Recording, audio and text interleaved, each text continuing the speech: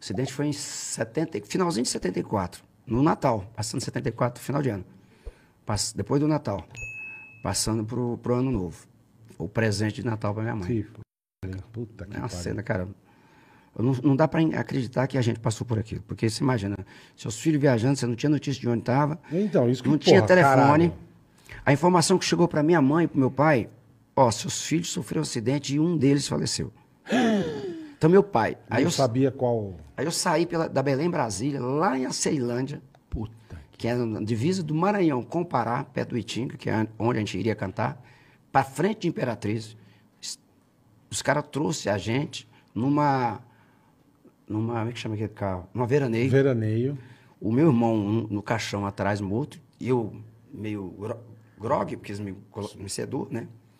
E, e aí, toda hora eu levantava, cadê meu irmão? Falou, não, seu irmão foi de avião na frente, está em Goiânia, no hospital. Puta, eles lançavam E essa. Falava para mim. E foi dois dias de viagem, duas noites, na verdade. Que é quase dois mil quilômetros, pô. São dois mil quilômetros. De onde eu estava, dois mil e poucos quilômetros, até Goiânia. Então, meu pai ficou um dia e uma noite, até chegar outro dia de manhã, Sem chorando, saber. sem saber qual dos dois que tinha falecido. Falecido. Quando nós chegamos, eu lembro dessa imagem até hoje, que eu desci do carro, meu pai veio chorando. Quando eu vi meu pai chorando tudo, falei... Deu Não é merda, só isso, Deu, deu merda. merda. Aí eu lembrei que toda vez que eu tentava levantar, eles baixavam, eu, eu vim com a cabeça no- na perna de um rapaz. E ele falou, não, dorme, dorme assim e tal. Porque a, na Você veranês dá para ver olhar atrás. é. É.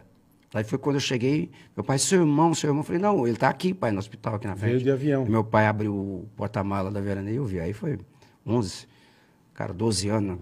Puta, e a ele, ele que era teu parceiro, né, cara? É, e eu com a cara enfaixada, porque os caras fez aqui, porque eu machuquei aqui, né? É, você tem Tomei a cicatriz até É, hoje, é. É. E aí, uma cena. Tá louco. Eu, É não, muita dor, cara. eu não imaginava que é, essa história, acho que eu não tinha noção. É, é muito absurdo, eu, né? eu fiquei sabendo no filme. Eu Então. não sabia que tinha acontecido isso. Mas É. o filme, ele, ele, ele dá uma alivi, Dá uma aliviada, aliviada. né? É, A é. O real é muito mais, mais fudido, cara, é muito triste. O real é muito, é muito É, mas, complicado. porra, Nossa, é uma muito- tragédia, Pensou em né? largar a mão, Zezé, ou não? Eu fiquei um ano sem cantar. Um ano um sem ano? cantar.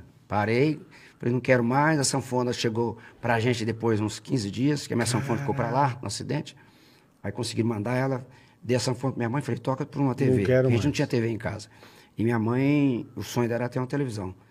Aí ela, eu não vou tocar mais, e ela eh, trocou numa televisão. Aí depois de um, ano e pouco, um cara apareceu lá que cantava bem. Pô, vamos cantar. Começou a me mergulhar pra, pra gente cantar, que era o Neilton. E aí eu fiz uma dupla com esse cara, Neilton e Mirosmar. A gente começou a cantar nos programas de televisão de Goiânia e tal. Depois fiz uma outra dupla, Caralho, gravei alguns ficou discos. um ano parado, irmão. Fiquei um ano. Puta que Eu pariu. não ia, não ia sabia. voltar mais, mas É. eu- esse cara insistiu muito pra eu voltar, né? E, E- meu pai e- também não falou, Um engraçado que meu pai nunca mais pediu pra voltou, cantar. cara. Teu pai nunca mais pediu. Tanto que quando eu começo a tocar sanfona um dia lá e cantar com o cara, meu pai chega do serviço e viu cantando, entrou, deu uma olhada assim, não falou nada, saiu, ficou Não quieto. entendeu nada. É, aí ficou quieto, não falou nem pra mim continuar, nem nada. Que na verdade, como aconteceu o acidente tudinho, eu acho, meu pai nunca falou isso pra gente, ele foi embora e, e eu nunca perguntei isso pra ele. Eu acho que meu pai ficou com um sentimento um pouquinho de culpa, porque era ele que queria muito aquilo, ele que, sabe, que mandou. Que acontecesse, Se sentiu né, culpado, cara? né? É. eu acho Ter que sentimento de sabe? Por eu culpa. que fui com- a É. porra, né? É aí que aí o cara, ele não, não- assim, não, não insistiu na história mais. Aí eu voltei, comecei a cantava com um, com outro, tinha uns três, uns três parceiros, até que pintou o, o Luciano na vida, né? Então, eu falo que a história tinha que ser com dois filhos de Francisco.